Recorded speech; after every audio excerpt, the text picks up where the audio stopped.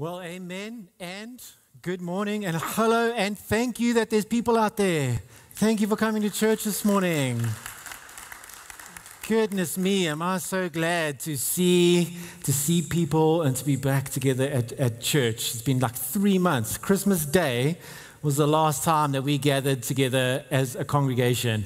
And I know that there's a lot that I missed, but you're reminded of what you really miss when you're back together, like singing with people and hearing people behind you sing. So thank you, Dave. Also, by the way, Dave's first time uh, leading as worship pastor in person. So kind of first day on the job with in person. I miss that so much, just being able to sing together. Uh, so that's super great to do that this morning. But also, just to all of you gathered here this morning, so grateful to have people to preach to or to have a distance between myself and the camera. Uh, so, welcome to you at home as well. All of you guys watching at home, we haven't forgotten about you. We're so glad that you still gathered around to participate in church this morning. But usually in the studio, the camera and I are like separated by like social distancing you know, measures. And there's a couple of guys in the studio, and I've got to tell you this for you here, just to kind of prep you a little bit. The studio crew are notoriously a tough crowd to preach to. Let me just say that. You're like, yeah, they don't do that, like laugh at all. Like I got so, so self-conscious, like, you know. So it's so great to have people here to be able to preach to and to respond to in so in some ways. So thank you for gathering on this historic moment as we op- reopen, re-reopen church again. Let's hope that we can make it at least through Easter. Amen. And beyond. Because as you saw in the announcements, we have a ton lined up for our Easter. In a way, I think it's like maybe for me personally, we're overcompensating for not being able to do Easter last year. So now this year we're doing double everything. It's like pull, yeah, pitch your tent outside, just pull in for the week and camp out. We're going to have an amazing Easter time in a couple of weeks. So just speaking of that, let me just before I get started this morning, uh, just give you a little bit of a heads up, church, on kind of where we're heading. Sermon series preaching in the next couple of weeks. So building up to Easter. Uh, the next two weeks, Pastor Justin will be preparing us for Easter. We have our Easter week. Then after Easter, we're going to change gears or change focus slightly preaching wise. So we just finished quite a, a comprehensive topical series, Rule of Life. After Easter, we will be tackling First Timothy as a book. So taking 12 weeks to preach through First Timothy. So that's two weeks per chapter. Lots of culturally relevant issues, lots of relevant issues for our church. So, really looking forward to journeying quite slowly through a New Testament book together. So, that's happening. Uh, after Easter. But in this week, let me say as well, exciting. So we've got AGM coming this week. You would have seen that. And so by now, maybe you know that what I like to do the Sunday before AGM or church general meetings is to talk a little bit about church. And in many ways, what I'm going to do this morning is kind of part one. Part two will be at the AGMs. I'm really going to set us up for what we're going to talk about at the AGMs. You would have heard Candace mention this. So AGM is like has this connotation of business meeting, and to be sure, there's business elements we've got to take care of in the meeting, but that's minor, especially for this meeting. Mainly, what you're going to be doing this coming AGM, two things. One, looking back over 2020, which was a crazy year for us as a church. Uh, and one of the unique things is church was online last year, so we've got footage of everything that happened in church. And so I don't want to give too much away, but to say we're going to have a moment to just reflect on all that happened last year and celebrate what God does as a church because it was amazing what He did. Amen. So we're going to look back, and then also what we're going to do, AGM, is spend a lot of time looking forward to the particular purposes that we as leadership believe uh, God has for us, the particular direction that He's taking us. So that's coming, and I want to tee that up today. So, very much today, after this morning, you'll hopefully know enough about what we're going to be doing this next year or years to come. And on Wednesday, find out how we're going to do that. So, without further ado, turn in your Bibles to the book of Second Corinthians. Um, this is also something I don't get to do in studio. You don't get to see people turn into their Bibles and hear pages rustling because the studio crew just didn't read their Bibles. Just kidding. Love our studio crew. So grateful for the guys who have kept church online. And just by the way, for you gathered here, for the guys at home, very first time we're doing hybrid, a very different way of doing church service together. And just want to praise and thank all of our tech volunteers and our brand new services director, Candace, up in the control room as well, doing a fantastic job today. So you're in your Bibles, Second Corinthians chapter 10 is where we're going to be camped out. A few verses there for the rest of this morning.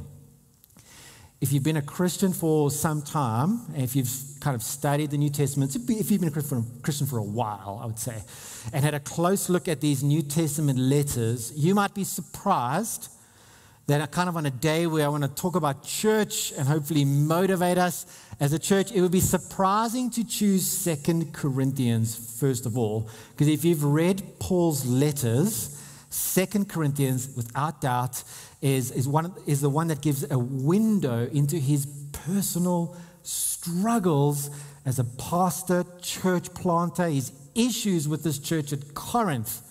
Right, he had planted this work there in Corinth, had spent two years establishing it. Uh, it had started really well, but he went away um, and started to work in Ephesus, and there were some issues there which he had to address. So he, he wrote the, the letter first Corinthians. In fact, he mentions other letters that we don't have. At least four letters Paul wrote to the church at Corinth dealing with particular issues. Like it was, it was kind of, it was in a lot of trouble. And, and eventually, even there were the, kind of these guys coming in from the outside, these sort of itinerant preachers who weren't really gospel preachers. They were kind of turning people away from the gospel, but they were very charismatic speakers.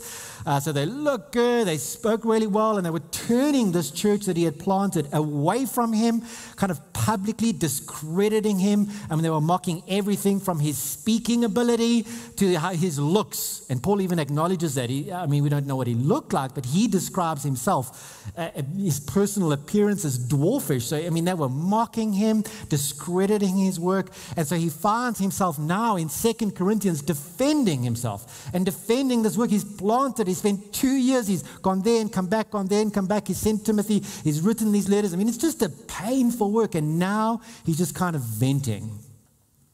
And especially in chapter 10 through 13. So, where are we going to be today, chapter 10? If you read Second Corinthians. So, it's very personal, the whole letter.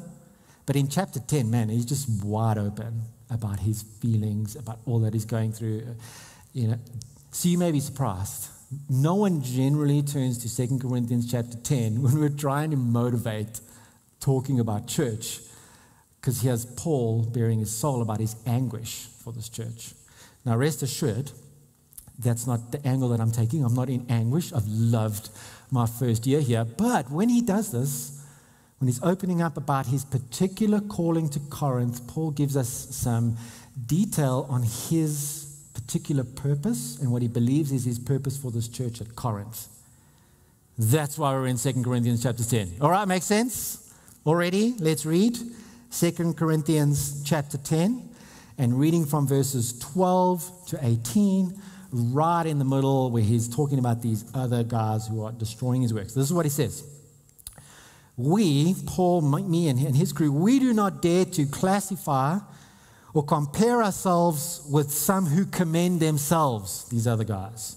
When they measure themselves by themselves and compare themselves with themselves, they are not wise.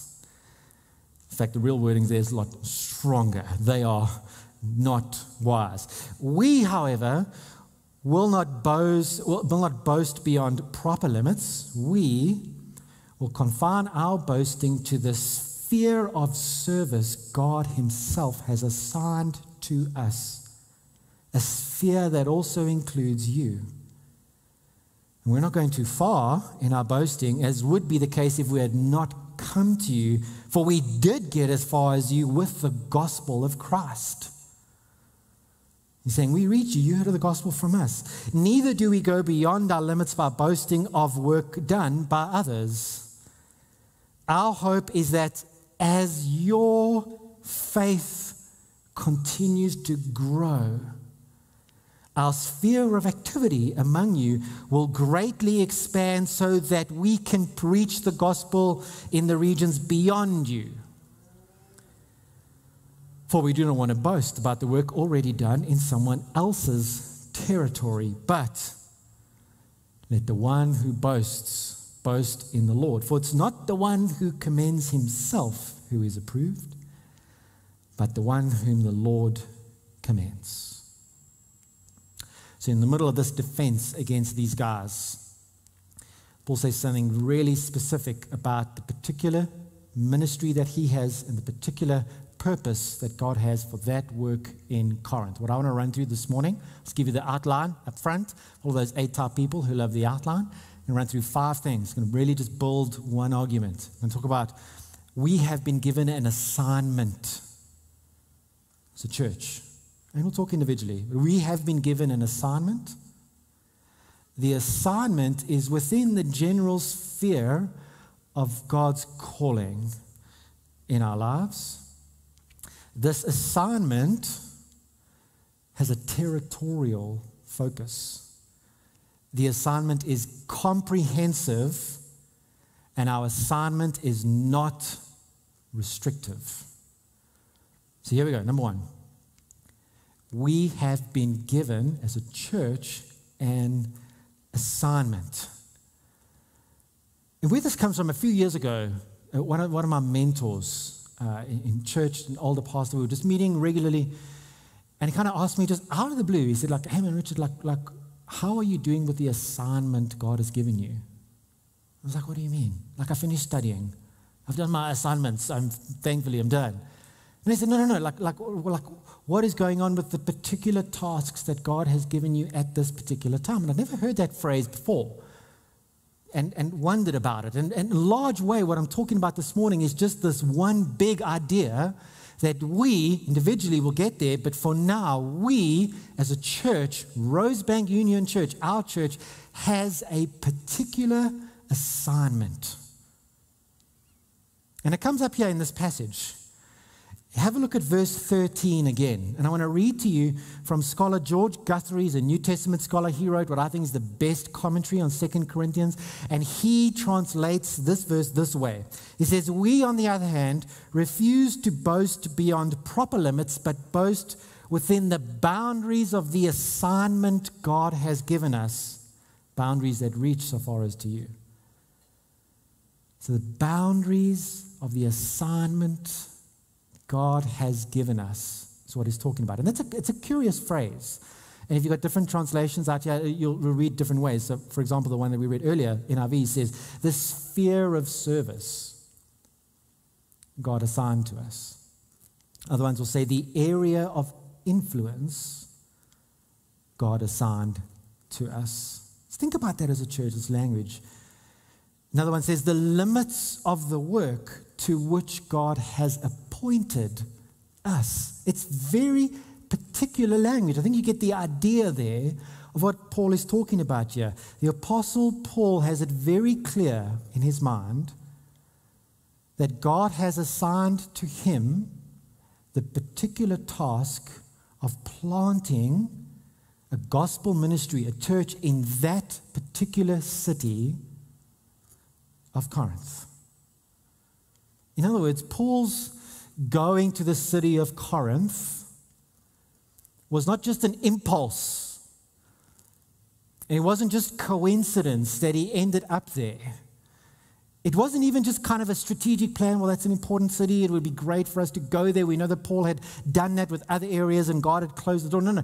His view, Paul was very clear that in his mind, God had assigned to him the particular task of establishing a church in that particular city of Corinth.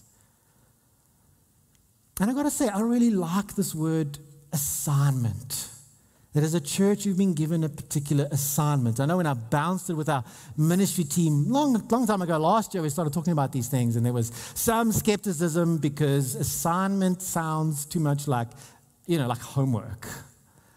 You're like, oh man, I've gotta go do this. I mean, it's something you're gonna get marked on, it's pass or fail, it's drudgery.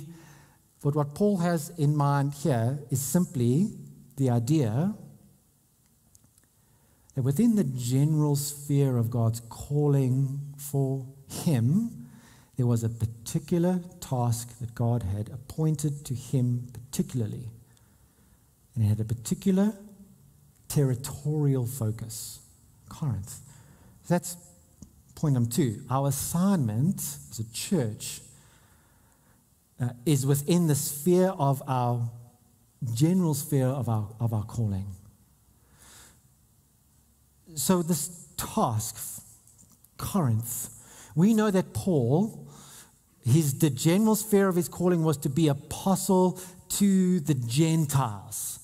Contrast Paul with Peter, who we know the apostle Peter, the general sphere of Peter's calling was to be apostle to the Jews. And we see this in Galatians 2, verse 7. It says, On the contrary, when they saw that I had been entrusted with the gospel to the uncircumcised, just as Peter had been entrusted with the gospel to the circumcised. So, by the way, entrusted with the gospel is similar language of assigned to. So, he has this idea. Basically, Paul is saying that his general commission was to be the apostle to the Gentiles. Peter's general commission, apostle to the Jews to establish a gospel ministry where it had not been known. That was his general commission, but his current assignment was to do that in the city of Corinth. Does that make sense? General commission, current assignment. Current assignment has a particular territorial focus. That's point number three. You cannot miss in this passage the very clear geographical markers that he's using. He's talking literally about territory, about geography, and he believes God, the assignment is the city of Corinth. So these translations use the word sphere of influence and the limits of God's work, but it's actually a very common word describing city limits. So archaeologists, archaeologists since then have like dug up stuff and found these inscriptions from Galatia of that time period, where a particular governor of Galatia, a man named Sotidius, had issued this edict that every one of the citizens of Galatia are ordered to provide transport for government officials. Can you imagine? But the limits of that edict was it was within the city limits of Galatia. It's the exact same word that Paul's using here, a very specific territorial boundary to the assignment that God had given him. So his focus is on the city of Corinth, and Paul's not going to move on until he believes he has finished the assignment he's been given in Corinth. You still with me? We've been given a particular assignment. It's a specific task delegated within the general sphere of how God has called it, it called us. It has a territorial focus. Number four, the assignment is comprehensive. And here's what I mean by that. I think this is really important and it's quite stunning in this passage and has a lot of practical implications for us. So let's have a look again at the middle of verse 15 to middle of verse 16.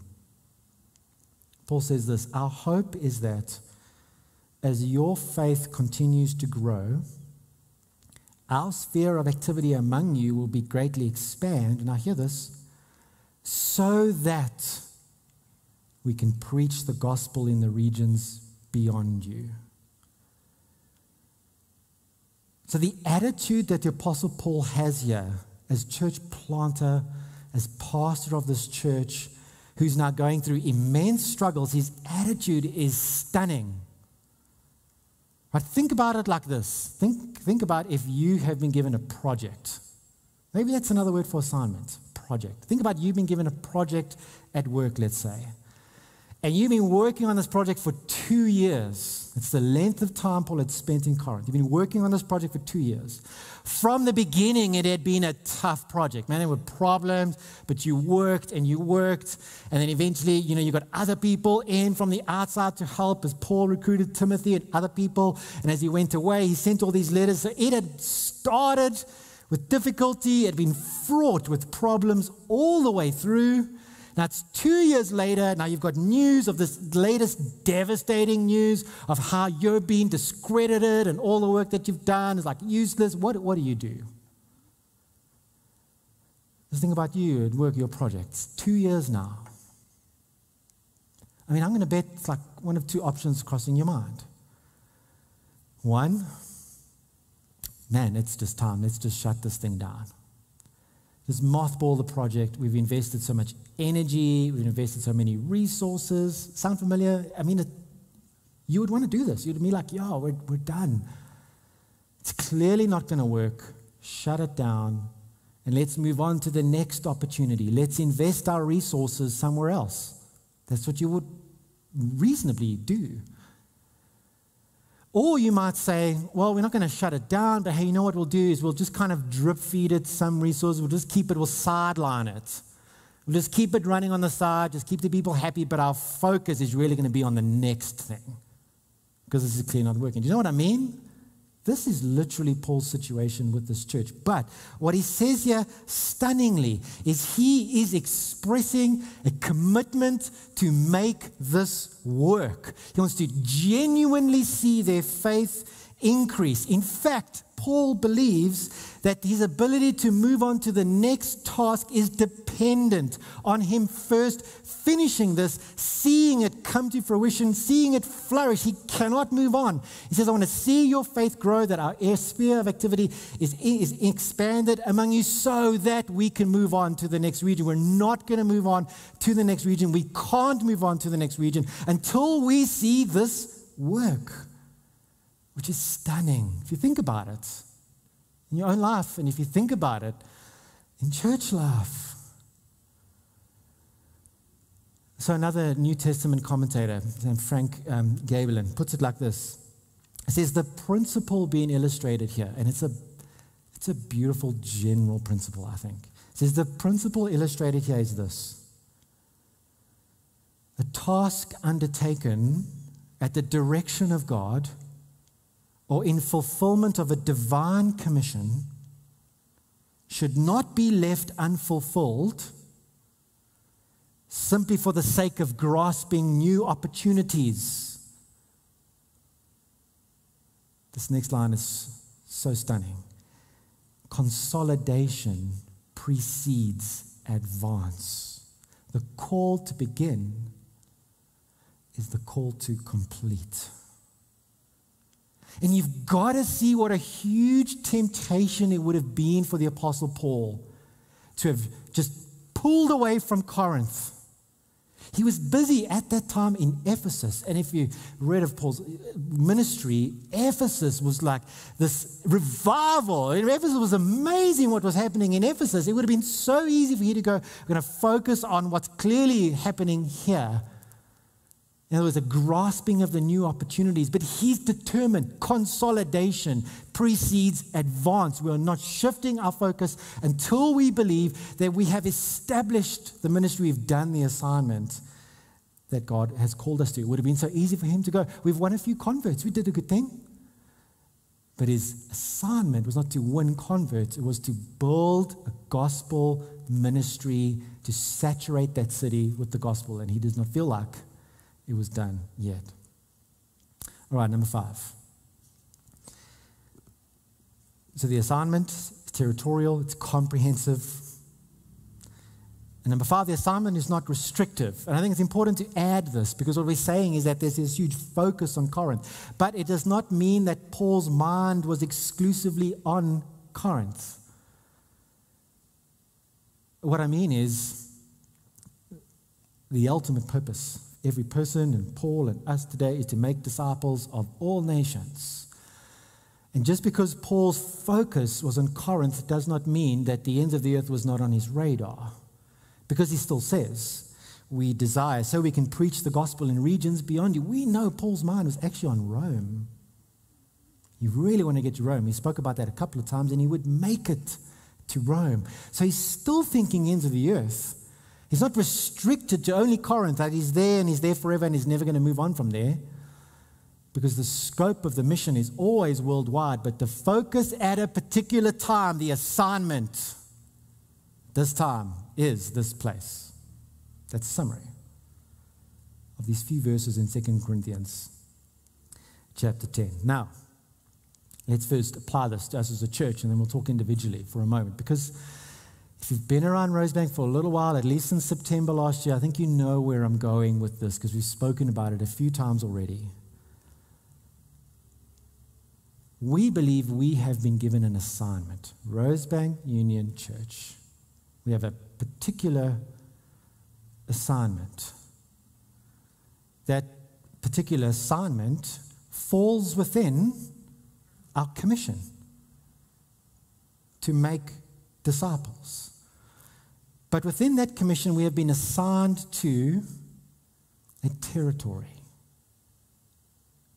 See, that's what's so stunning about this passage the passion, the focus on that region, the boundary limits. We have been given an assignment. The assignment is we have been assigned to a territory. That territory is Joburg. Assignment Joburg. There's a reason God has us here this place, this corner of this crazy intersection in the middle of Joburg. There's a reason He's established this ministry for over 115 years, that He's given us the resources that we have. We have an assignment within our great commission to make disciples. We have a particular focus for the city of Joburg, and it's a comprehensive assignment. Is there anybody out there who would say, well, maybe we're done with Joburg? Joburg's good, right? I mean, nobody's going to say that. Not yet. The job's not finished. In Joburg, Rosebank's been here 115 years. There's been other incredible churches in Joburg. There are incredible churches in Joburg. But the job's not done. Can we say that we can see in Joburg biblical Christianity taking root. Can we say that? No, the job's not done. And until we believe as a church that there's been some sense of release from God, that this phase or this assignment is over, we have to maintain our focus for establishing a real gospel, Jesus centered presence in Joburg. But that does not mean, point five, that we only ever think about Joburg. It doesn't mean we defund our missions department. I mean, absolutely, we keep that going. But we also realize this this is the important one. We realize that actually our ability to effectively reach the ends of the earth depends on us being effective in Joburg. That's what Paul was saying to Corinth. Do you see that? Our, our, our scope as a church is the ends of the earth to make disciples of all nations, but our particular assignment at this time is to recover focus of the city of Joburg. Make sense? That's the what. On Wednesday, we'll find out a little bit more about the how. Before I close today, I want to spend a little bit of time, a few minutes left, applying this personally. So we're stepping away from corporate and Rosebank and church to talk personally. Why? Well, because you're here and I love seeing people again, but also because Paul actually does this. In this passage, he starts to talk to them individually, well, in the whole book. But in this particular passage, talks about their faith. He's kind of saying, like, it's dependent on you individually. So we've got to talk about individual focus here. And all I want to do is simply this those same five points I want to just, just change the personal pronoun there and talk about that individually because I think these same things apply to us individually. You have an assignment, and I have one. We do individually. A particular assignment, like that mentor said to me, I would say the same thing to you. You, we have been given an assignment that assignment is for here and for now. It's within the general sphere of how God has called you, how He's wired you, how He's made you, the experiences that He's given you. He generally uses you in this way, but He's got a particular assignment for you here and now. That assignment is attached to where you are now, time and place. It's comprehensive, but it's not restrictive. Let me walk through those with you personally. I'm actually only going to do three of them for time's sake number one, two, and four. So, first, you have individually been given an assignment. And I want, you to, I want you to hear the language as I heard it that day. A particular task at a particular time. This actually should not be a surprise to you as Christians. Maybe we haven't used the word assignment but we've seen it in texts like Ephesians 2, verse 10, which says, For we are God's handiwork, his personal creation. His poem is the word there. Created us a particular way. We are God's handiwork, created in Christ Jesus to generally do good works, which God prepared in advance for us to do. Again, do you see this idea generally being prepared with this kind of ultimate purpose, with this generally the way He's wired you physically, your abilities, emotionally, your personality? He's given you that and your experiences for this general sphere of how He's going to use you, like He uses me now as a pastor. Didn't always, but now as a pastor. For you, maybe as a mom or a, a, dad or a teacher or a lawyer or your workplace ministry, that's the place God has put you as the general sphere. He's going to use you to establish something in your workplace or even by vocationally, you're going to work, but on the side, you're going to be able to give time to nonprofit or religious activity. But whatever the general sphere of your calling is, He's wired you that way. And I think you kind of know this. You've heard about this in Christianity. There's a reason you're here. The ultimate purpose make disciples. But within that, the general sphere. So Psalm 139 is this famous psalm about in my mother's womb you wove me together. It says, You saw my unformed substance. You brought my frame into existence as this idea of frame is your, my physicality, my physical ability, the unformed substance, my emotions, the fact that I'm introverted or left brain, right brain, all of those things. But then it says, and the days ordained for me are written in your book forever. It's like He's created you in this way. But then with these particular tasks that God prepared in advance, you've been given an assignment. That assignment is within the sphere of your calling. Number three, which is number four in the outline, if you're following it, that I want to get to, is that your assignment is comprehensive. I want to spend a little bit of time. We've got a few minutes left. So much more I want to say, but I want to camp out here because this, this part's nuanced. It's not as simple as it seems, but I feel like it might be really important. Your assignment is comprehensive. You see, this, it's this idea of Paul's determined, his perseverance, his laser like focus. I'm going to finish the job at Corinth, and even though it's really difficult, I'm not just going to take the next easy opportunity that comes my way. I'm going to finish what God has assigned me to. And I want to say that the same with us. With your assignment, don't give up if the job's not done, is what I want to say. And I'm going to say that. Don't give up if the job's not done. Often, at times of transition, what often moves us away is when things are difficult. And you got to you got to see often a, a sign that things are difficult is not a sign that you're meant to move on. In fact, often case in ministry, in ministry, it's the opposite. It would be kind of easy for us as a church, you know, again, thinking of Joburg. Now, man, Joburg's tough. We did our best, 114 years, man. There's other exciting opportunities. Let's go do this, this, or this. Or in the personal sphere of what God is calling you to do and tasks. Because difficult isn't an indicator that it's time to move on. In ministry, it's often the opposite. Now, that's not to say, that's why this is nuanced. That's not to say God never moves you on. Because remember point five. He is, it's, it's not restrictive. I believe he means to move people around and move from assignment to assignment. Things change. But there's got to be this sense of I've completed the task. I'm not just running away from the problems. But there's a sense of being released. There's a sense of hearing from God. Your assignment has been completed. Check. Well done. You passed. Shouldn't use that language because that's so negative. That's, that's not what it's like at all.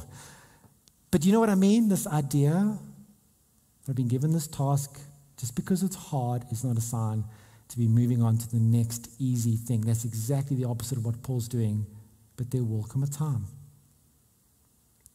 for you to move to the next assignment within the general sphere of God's calling for you. I mean, as I think about this, that's, I mean, Master, I'm here a, a, year now, but it was a year ago that I left another sort of ministry, and it was only with that deep sense of that assignment had been completed. Could have left earlier when things were difficult, but didn't because it felt like we had to, you know, see out. Didn't know this then, but this is giving vocabulary now to the sense persevering with the particular assignment and task that God has given you for here, for now, you will know when He's releasing you from that assignment to the next assignment within the general sphere of His calling for you. Felt like that needed to be said. Church, let's pray together. Because we realize as a church, yeah, there's a task, an assignment, job's not done, a lot of work to do. But also, you're here. You're here today. Thank you. And you guys online, still joining us online or listening to this message whenever you are. If you're with us, it means God has you here this time for a reason. The sphere of your general calling, the sphere of the church's general, they're overlapping. And we're excited to see what God does in your life, individually and in ours as a church. Amen? Let's pray for that. God, we come before you and just so much on the table and our hearts this morning. This beautiful passage of this task, this assignment you gave in these difficult circumstances. And Lord, how you sustained that ministry then and how that gospel did extend out of Corinth right to where we are today. We praise and thank you, God. And we ask that you would give us as a church that same perseverance, endurance, strength, laser like focus, determination to see biblical Christianity take root in Joburg and therefore and then beyond. Help us, your church, Lord Jesus. Guide us, we pray. And we come to you individually as moms, dads, sons, daughters, brothers, sisters, members of households, colleagues, members of businesses, of community. And God, we I pray this morning, Holy Spirit, we gathered here in this place, but for everybody gathered in their, in their homes, would you move individually in people's hearts, help them to see the particular assignments you've given them at this particular time. And for those discerning transition, would you grant them great clarity about knowing when the work is done and what the next assignment is. And lastly, we praise and thank you, Jesus, that you, that we even get to talk about this ultimate purpose in our lives, sphere of your calling and these particular assignments. We thank you, Jesus, that you choose to use us. You called us for these noble tasks, and ultimately you suffered and died to enable us to accomplish this, to enable us to be all that you created us to be, which is holy and righteous, and to be filled with good works. We had no shot of doing any of this. We had no shot of being picked, of being used apart from your grace demonstrated on the cross, and we thank you for that. The dignity of being called, of being part of moving your kingdom forward. And we just reflect on the price that was paid for your church, the members of your church. Help us to steward that gift well. To not just move on to the next easy thing when times are tough as a church and as individuals in our families. We pray for those in tough times in their marriages and families. We're tempted to move on. For those in tough times in other relationships or at work and tempted to move on with nowhere to go. God, we just come before you and pray, Holy Spirit, for your direct leading and intervention by your grace. And in your name, Jesus, we pray. Amen. Thank you for listening to this sermon from Rosebank Union Church. If you've enjoyed this message, please feel free to share it with others. And if you would like to support the work of Rosebank Union Church, please visit the giving link on our website at ruc.org.za.